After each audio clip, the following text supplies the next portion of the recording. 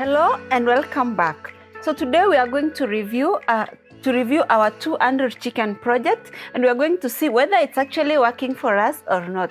So we decided to take you into this journey because we got so so many questions and also thank you so much for watching that video and giving us so much love.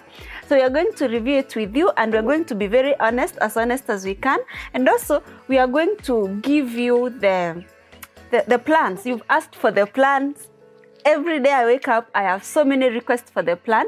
Today is the day. So stick onto this video. At the very end of this video, I'll let you know how you can get the plans, how you can modify them. All those details are in this video. So the first thing I'm going to tell you is that our 200 chicken, we've already sold them. So that is a plus for us. We didn't have any deaths, we didn't have any diseases. They did so well.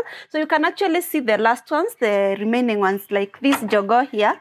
It's very big and it's quite okay. It has no problems. And so the chicken did well. It was that that one was a win. So the second thing, did the plastic wire hold? Six months later, is the plastic wire still there? Is it as good as it was? And yes, the plastic wire held well. It didn't sag and it's very comfortable. So another thing we learned is that this plastic wire is also very foot friendly for the chicks when the chicks came here, they were about five weeks. We didn't have any foot problems with them. The wire is very comfortable for them. So that also is a plus. So the other thing was the feeding. We used to feed our we feed our chicken from here down here. That also worked very well. We don't we don't interact with the chicks with the chicken when we are feeding them. So just feed them from outside. So i got people suggesting that uh, i put the feeders outside. And yes we did that with the first house. And we realized the challenge we had was that birds would come and feed on from the food. And that's very risky for your chicken because that brings diseases. The wild birds will come with diseases.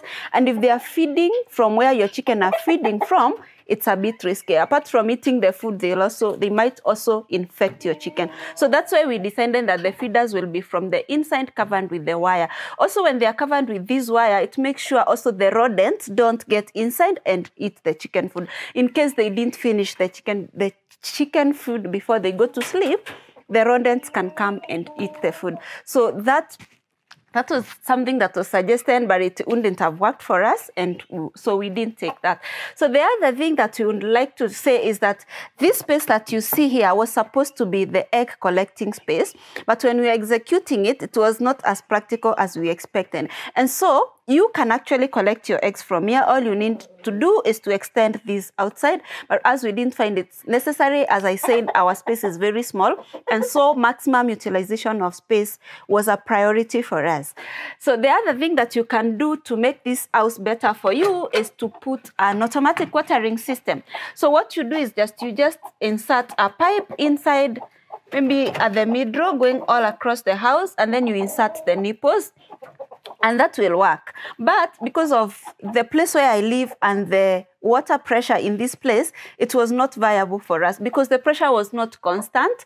And at the time when I was building this house, I was not able to put a tank that I would, I would uh, be able to regulate the pressure. So I opted for the watering troughs. They have worked for me, and I think I'm going to keep sticking to them.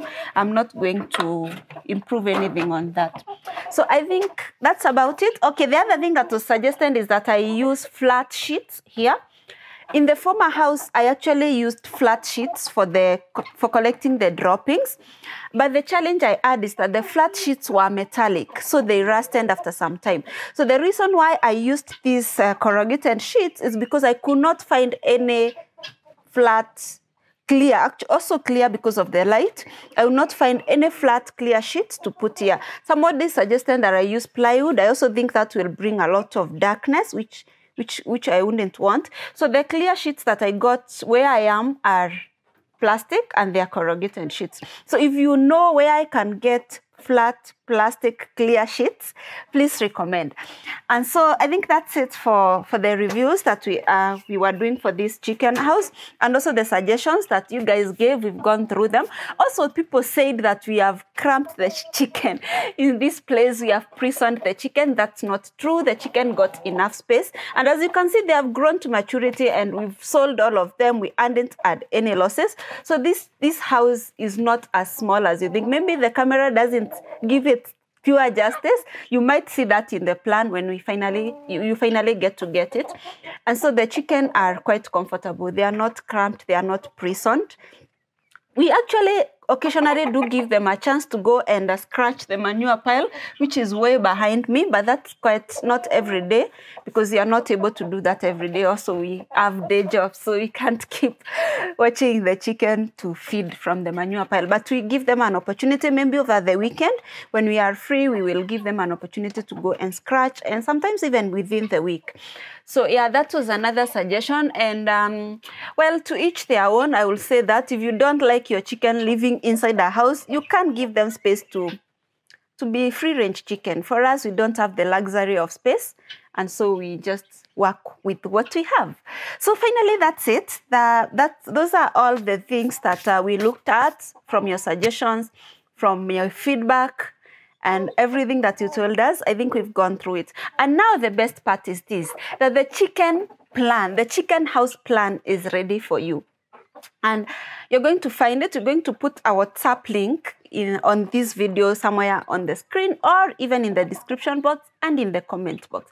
So you click that WhatsApp link, it will take you to the WhatsApp where you can get the PDF of this chicken house. You will get the one that um, all the measurements and all the requirements. And you will also get the one with space suggestions where you can actually customize it, customize it for your for your own space. You don't have to do an exact one like this. So we thought about all of you, those who have a small space, those who have a big space but would desire such a design. So all that is catered for. Please click the WhatsApp link and WhatsApp us and we are going to serve you the best way we know out there. The chicken house plan is ready for you. So don't wait anymore, not any longer. It's here with us. Thank you so much for watching this video.